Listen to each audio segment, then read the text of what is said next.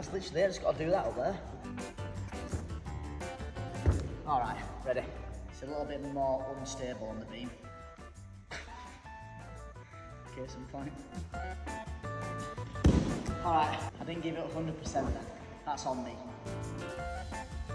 Oh! That was so close.